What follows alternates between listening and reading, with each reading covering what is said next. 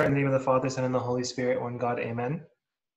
And so today, uh, thank you all for joining us again. We're going to continue on in James chapter 1. So if you have your Bibles ready, um, uh, we're going to, I believe that we were in the fifth verse, um, but just uh, we'll do a quick summary, not to belabor it because it is recorded. So um, if you remember that the theme uh, for the entire book of James is around faith and works. And if we remember, the people are struggling with hypocrisy, and there's a split between um, walking the walk and talking the talk, right? Between uh, your faith and a practical application of that faith, uh, which is the works the, or the deeds.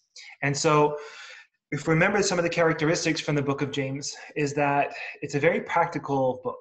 It's a very um, easy, clear, concise. There's a balance between love and rebuking at the same time. There's there's teachings, and so this is a pastoral letter, and not to be confused with something that's like overly the top theoretical or uh, um, or theological, but it, it's more of a practical how to live your Christian faith. And if you remember the outline of the entire book of James, um, it's five chapters long, and uh, they can be sort of summarized in these different ways, like faith and temptations, faith and works, faith in the tongue, and, and so on. And we were in chapter one, which is again faith and temptations. And if you remember the outline of chapter one, uh, it was about uh, a small greeting uh, from the very beginning, and then the focus turned to how do we face outward temptation? Um, how do we resist this temptation? And so that's where we're going to start up today, around verse five um, to seven, and hopefully we'll see how far we go into. And then after that discussion, we'll go into um, fighting the inner temptations and what is our role as children of God, right? Listening and doing, actually applying uh, some of the practices that we preach. And so, if you remember, we were in verse 5, and verse 5 read, If any of you lack wisdom, let him ask of God who gives to all men liberally and without reproach, and it will be given to him. And so the question that we're, we're thinking about and we're contemplating on is, you know, how do we endure temptations? Um, and St. James says very frankly, first by uh, obtaining heavenly wisdom, right? It's through heavenly wisdom that we realize God's will and his promises and his promises specifically to those who endure patiently to the end. And so that person who um, who is able to endure patiently, they're able to rejoice in, over their temptations. Um, some may think that they lack wisdom, so they don't know how to respond to persecution. And so, what should they say, in other words, when they're challenged about their faith? How should they respond to being insulted or dragged to the courts? Well, St. James says simply, you only need to ask from God. And this wisdom will be given. It's an amazing promise. And the question for all of us to really contemplate is do we do we actually have the faith to believe in these promises? Or do we just skip right by them? See, our Lord says you just need to ask of God, and this wisdom will be given to you liberally. He's not stingy with his gifts. He is the one to give all men generously, liberally, spontaneously, openly. Uh, and he is the one to give without reproaching his children um, because of their mistakes. So if we ask God, and, and, and He will give them all the wisdom they need to respond to each situation. But here's the catch in verse 6 But let him ask in faith. Let him ask in faith uh, without doubting. For he who doubts is like a wave of the sea driven and tossed by the wind. The, the thing is, sometimes we feel like God has abandoned us. We feel like, why is it sometimes that we don't receive? Or the perception that we don't receive. No, it, it, we are the ones who turn uh, God's overflow and abundance of love into um, into the feeling of the lack because of our unbelief, right? That's why St. James says, but let him ask in faith. We need to ask without having a divided heart, without between uh, seeking God's wisdom and depending on our own wisdom, right? That's between God's love and the love of earthly earthly matters without wavering, without being in, in the middle. Um, the person who wavers, we need more dis- moral decisiveness, right, in our approach to God. We need to repent from being double souled, double minded, right? Trying to live both as one of this world and as one as, as God's servant at the same time. It doesn't work. And so the doubter, the one who doubts, has no moral stability. It's like a surging wave of the sea, which is wind driven and tossed by the passions of life. And so in verses 7 and 8 For let not that man suppose that he will receive anything from the Lord. He is a double minded man, unstable in all his ways. In all his ways, in all his dealings, he is restless and unreliable. The one who is not decided in his choice to serve God or, and, and not let the world um, take over, right? If we focus on looking for the world to, to give us what we need in terms of wisdom and things like this, we'll never receive um, satisfaction. We're always going to feel like we need more and more, and we won't be satisfied.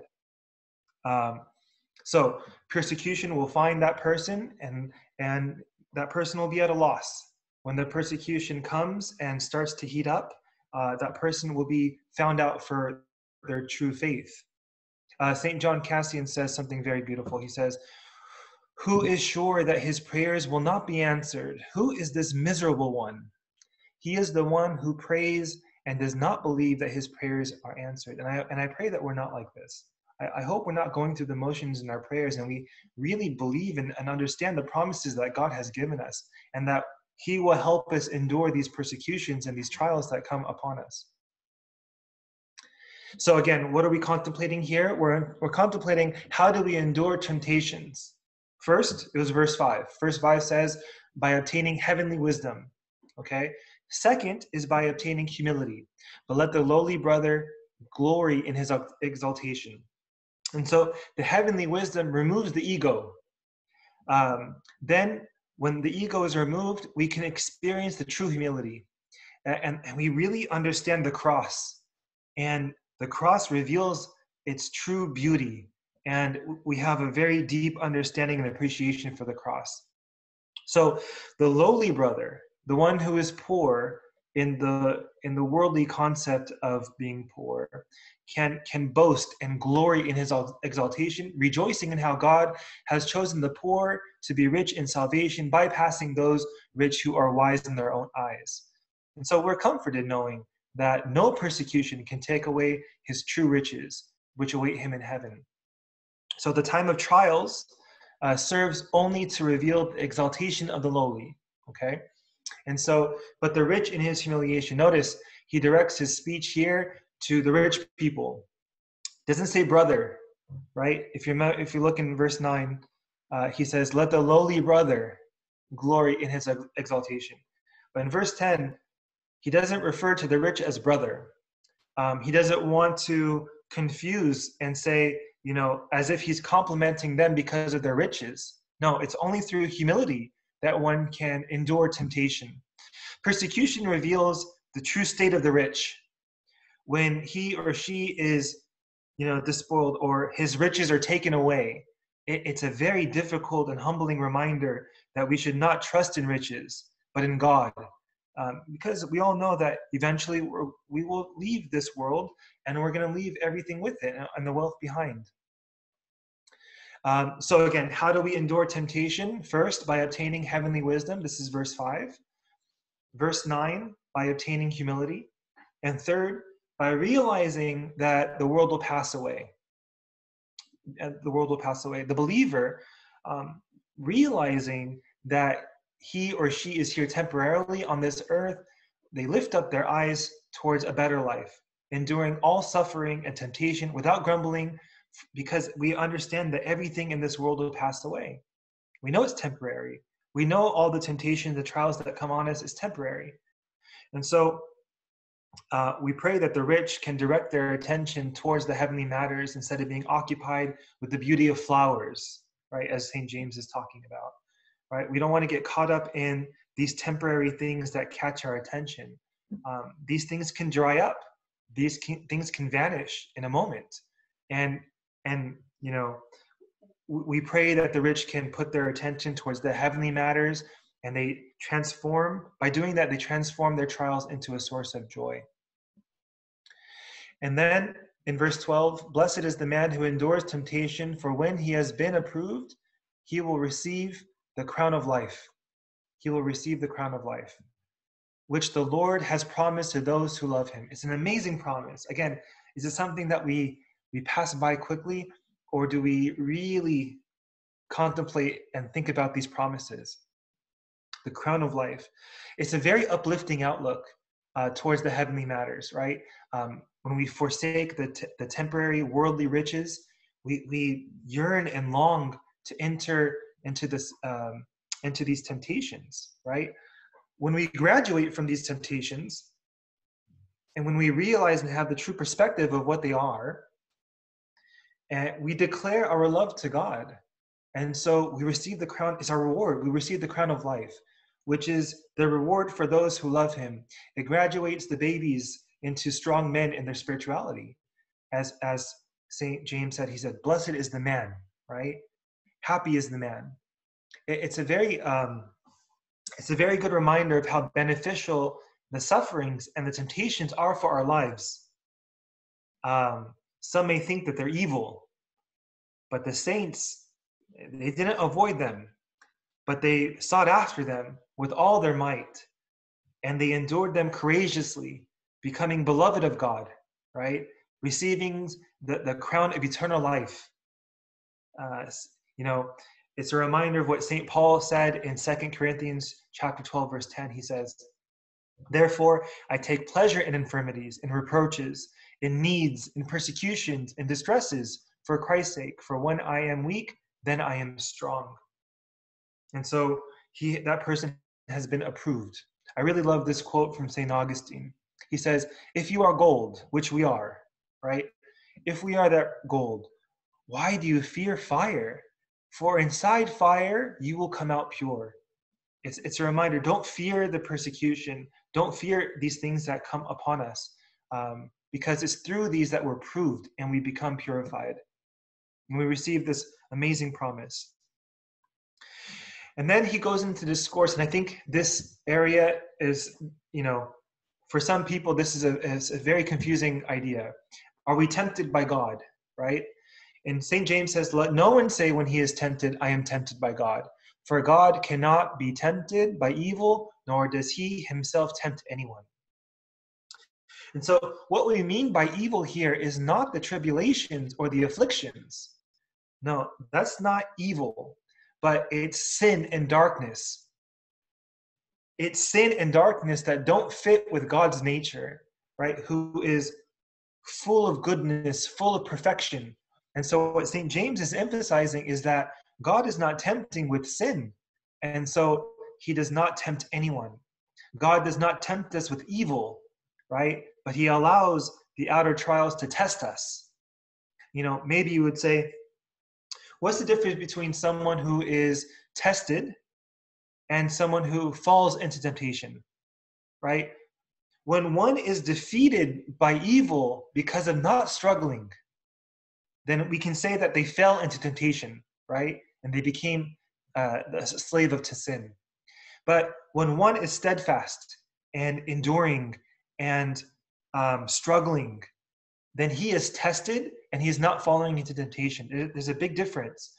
You know, sometimes we even say we fall into this temptation where we say, God is angry with me. And he sends to me this catastrophe to destroy me.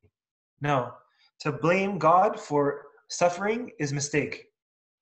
No one should imagine that his or her sins have so frustrated God that now he is overcome with the human desire for vengeance and that he is the cause of suffering. He's out to get us. No, he doesn't test anyone like that. He's not out to to destroy. He doesn't have a desire to destroy them, right? He does not test us to destroy us. No, it's to prove us. Okay? And so uh, in verses 14 and 15, and he goes on to explain a little bit further. He says, But each one is tempted when he is drawn away by his own desires and enticed. Then, when desire has conceived, it gives birth to sin, and when it is full grown, it brings forth death. This is a nice explanation of what really happens when we choose when we choose to uh, fall into sin.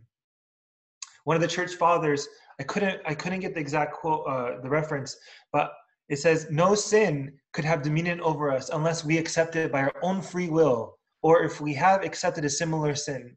For example, thoughts of lust or the of the flesh cannot dominate one unless he enjoys these thoughts or if he's fallen to pride or anger where God's grace has forsaken him for he indulges in food. And so each one is tested and tempted when he or she is drawn away from safety and lured into danger by their own desire. And this desire is our rebellious determination to have our own way, to have our own will, to to satisfy our uncontrollable appetites. And so, this desire, it's been said, we, we have to resist this at all costs. When it's conceived, it brings forth and gives birth to sin. And when sin is finished and mature, it, it brings forth death. And so, our desires, our self will, it may seem harmless, but they're lethal, right? When we're drawn and enticed you know the devil entices us with many inner and outer stumbling blocks you know for example like lust of the flesh and worldly desires these stumbling blocks no matter how harsh they don't force us but they only entice us so that we can be drawn to sin right? Our lord jesus christ confirmed that. He says my sheep hear my voice neither shall anyone snatch them out of my hand in john chapter 10 verses 27 and 28 and so this means that no force, no matter how large it is, can snatch the believer who hears our Lord's voice and follows him. However, if the believer does not hear the Lord's voice and instead listens to other voices, then he can be enticed towards sin. So the one who comes to me, he says, I will by no means cast out in John chapter 6. Our Lord says that He is the door, that when one enters by Him, he will be saved and will go in and out and find pasture. So the, the problem is, the warning is when one leaves the Lord, our Lord does not force him to stay. And then he is drawn from God's care, and then he's enticed by the devil.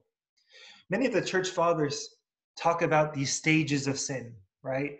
Um, and they demand us to struggle against the sin in the first stage, in the very beginning. Don't negotiate with sin, right? In the very, very beginning, uh, when it's conceived, right?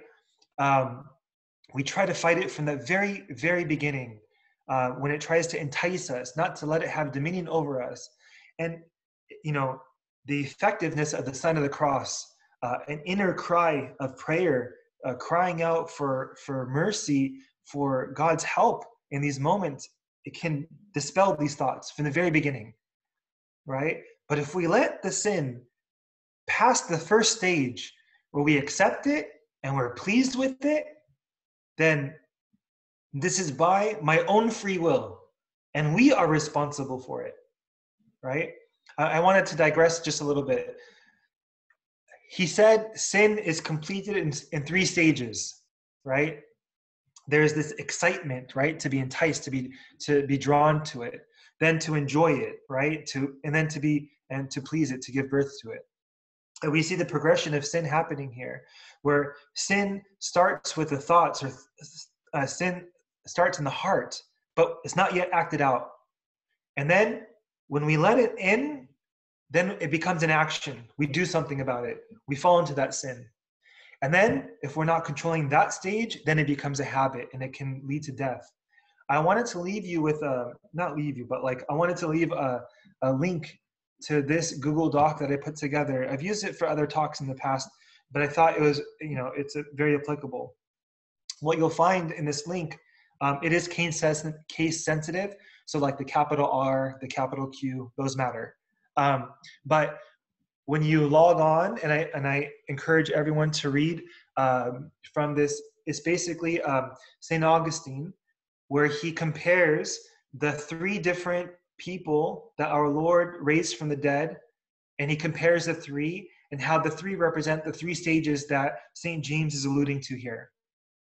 Right? And so St. Augustine talks about the first person who our Lord raised from the dead, the little girl who wasn't, who just died, right? Who's still in the house.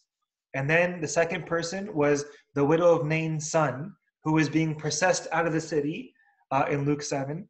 And then the third person who was Lazarus, who he raised. And no matter what stage of sin that we're in, whether it's still in the house or it's still act, if it's acted upon or if it's it's in you know you're in the tomb of sin um, our lord calls each person out and he says to rise each one you know um, we have to be careful. I think sometimes we don't stress the point enough from the very first one sin in the heart or the thoughts or that that being uh, the sin being conceived of right? That excitement right? It takes place and it happens through memories. It happens through the senses like seeing and hearing and smelling and tasting and touching right? If the enjoyment is produced so we have to pay attention to what our what our kids and what we watch and what we listen to and what we interact with right? Because it affects all of our senses. But if enjoyment is produced then you know we can control it. But it, for example when we fast when we see the food uh, and we lust after the tasting of the food is stirred within us, it, can turn into enjoyment, right? And then, so the idea is what the Coptic Church tries to preach is don't be lured and don't be enticed by that, by even the food. Control it. Don't let your body have exactly what it wants all the time, right? Um, and it's a good discipline if we can physically uh, strengthen our resilience towards food then maybe we can um, we can fight against the sin which we don't want it to even entice our hearts okay and so um, I, I, guess you know for me it's a message of hope when you read uh, st augustine's uh, sermon I, I summarized it i condensed it into that google doc but when you read that that sermon that st augustine gives it's a message of hope um, that we see our Lord raising those three stages of sin, those three dead people, using different expressions. He says, Little girl, I say to you, arise. He says, Young man, I say to you, arise.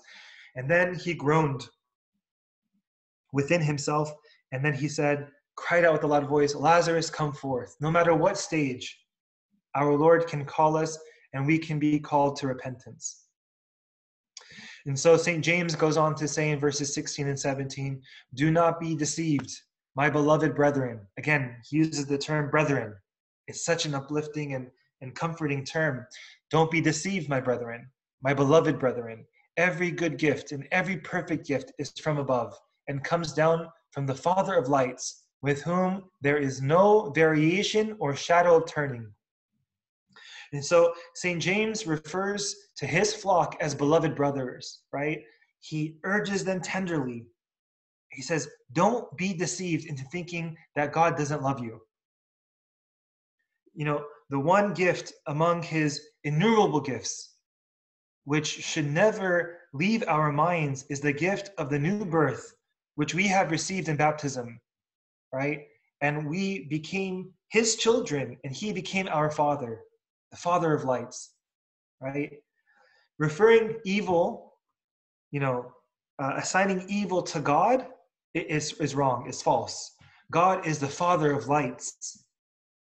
Asking goodness away from uh, God is false. It doesn't make sense. For he is our father, right? Who does not accept that his children seek any father besides him. So every good gift is for our own good. And every perfect gift is presented as a free gift, you know, from above. That is where um, that is there is a, a, a, continue, a continuous overflow from heaven towards us, from the Father to his children. God does not allow testing and persecution so that we fall, but so that we succeed and so that we become perfect and we become holy. He gives us only good things. And so we have to have that perspective when we're facing these very difficult things in our lives. He only gives us good things so that we become perfect. And so the all good giving and every perfect gift is from above, coming down from the Father of lights. Every blessing in life that we receive, all the health, all the love, all the friendship, all the pleasure, all the peace, it all comes from God. God, He is light and love, and He will never change. He will never dim. He will never be obscured. And with Him, there is no change. There's no shadow of turning. And I think at this point, I wanted to, to end here um, so that we can continue on, on uh, kind of a nice place uh, for next time. I wanted to open it up for any questions.